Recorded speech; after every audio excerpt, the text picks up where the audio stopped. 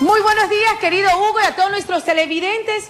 Y usted ha dicho lo correcto. Donde nos llaman, estamos en el punto, por supuesto, con la mejor arma que es el micrófono para que la comunidad sea escuchada. ¿Cuál es la situación?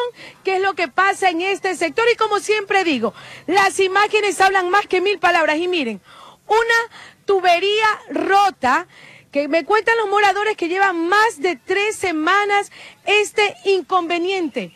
¿Qué les ocasiona? ¿Qué problema este, tienen debido a esta tubería? Mi querida señora, sin duda alguna esto afecta a muchas personas. Muy buenos días, primeramente, por haber atendido al llamado a la comunidad. Efectivamente, eh, este daño tiene hace aproximadamente tres semanas. Hemos llamado millones de veces a Interagua y definitivamente en una llamada nos dejan, no, ¿Ya?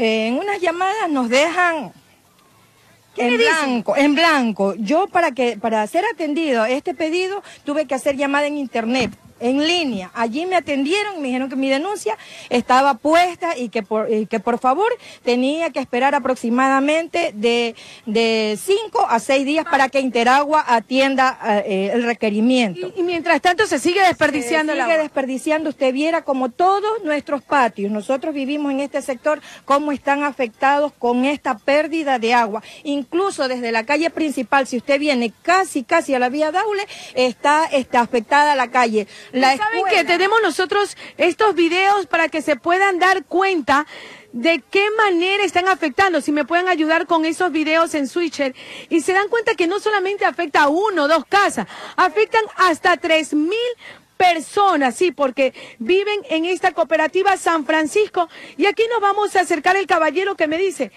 esto afecta por supuesto a su patio. Miren, es un riachuelo que aquí se, oiga, miren, un riachuelo, estamos viendo las imágenes, ustedes queridos televidentes, que afecta a escuelas, a casas, a patios, caballero. Su casa es la de aquí, veo hasta patitos. Sí, así es. Y tenemos ya días con, con esa agua ahí que para los patos es bueno, pero para nosotros no. Entonces solicitamos que nos atiendan porque así no se puede vivir. Y esto afecta sin duda alguna lo que usted me estaba diciendo, este, la infraestructura de su casa. también a la misma construcción y no solo a mí, a toditos por aquí en este, que somos en esta manzana como 12, como 12 eh, solares que están afectados tanto de un lado como del otro lado. Entonces solicitamos que nos ayuden, que tomen, pongan cartas en el asunto y, que solucionen el problema, que solo aquí nomás no es el desperdicio de agua desperdicio de agua viene desde arriba de todas esas tomas de agua que hay por allá, desde las invasiones. Pero esta tubería específicamente fue hace tres semanas y ¿saben qué? Es increíble cómo se ve de qué manera esta agua está afectando también la infraestructura de la vivienda y tienen algunas cosas que se le han hasta dañado debido a que esta tubería, por supuesto, se hace ahí que, mire, una piscina y lo que me indica el caballero, sí, los patitos salen beneficiados, pero sin duda alguna la gente y los moradores de este sector, miren, llevan más de tres semanas con esta tubería rota, lo que ha ocasionado todo que se, que se hagan estas pozas, algunas viviendas afectadas. Han comentado que ya han realizado la respectiva denuncia, pero que no tienen respuesta. Sin embargo, continúan con este problema aquí en la cooperativa San Francisco 2. Más de 3 mil personas se sienten afectadas por este problema. Y aquí como ustedes ven, los moradores se han acercado porque necesitan una solución inmediata. ¿Dónde está la tubería? Si alguien me puede indicar y acercarse. ¿Cuál es el problema para que, para que me indiquen? ¿Dónde está la tubería? La tubería azul pero debajo de esa tubería primera hay debajo más o menos de más de 5 metros están hay más tubería de agua potable. Aquí, donde está azul. Esa es la tubería. Pero este daño no viene desde hace tres semanas nos dimos cuenta porque el municipio empezó a hacer la repotenciación de las calles.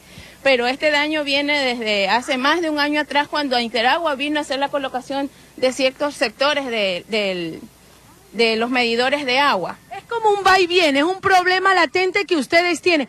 8 y 40 de la mañana informando desde la cooperativa San Francisco do este problema que tienen la tubería rota, me indican que ya han hecho la respectiva denuncia a Interagua. Sin embargo, lo que les han dicho, esperen. Que esperen, que esperen. Mi, querida Roselena, esperamos nosotros que en el siguiente enlace le tengamos ya una respuesta a esta comunidad que ya está cansada y sin embargo, cómo esta tubería rota se ha convertido en la pesadilla, por supuesto, para todos los moradores de este sector. Pili, aparte de decirles que esperen a los moradores de ese sector del noroeste de Guayaquil, quisiera saber si han hecho por lo menos una inspección al lugar. ¿Han ido los técnicos? Sí, me indica justamente la, la señora que la semana pasada llegaron unos técnicos, hicieron la revisión, pero lo que les digo, y me causó realmente sorpresa, ¿qué le, ¿cuál fue la respuesta de la gente de Interagua que vino hace días? El día viernes se presentaron dos ingenieros. Primero vinieron el miércoles, en donde yo los atendí, se les comunicó y ellos tomaron video y todo. De ahí vinieron el día viernes. Los atendió la señora Martita Zambrano. Eh, y le di... ¿Cuál fue la respuesta? Que cuando el municipio termine la repotenciación de las calles, ellos vienen a, hacer la reparación de esto. Para, más, bien, que vengan a hacerlo antes de que se termine la obra del municipio, porque es un perjuicio no solamente para nosotros que estamos en este sector, sino para las más de 3.000 familias que somos en la cooperativa San Francisco.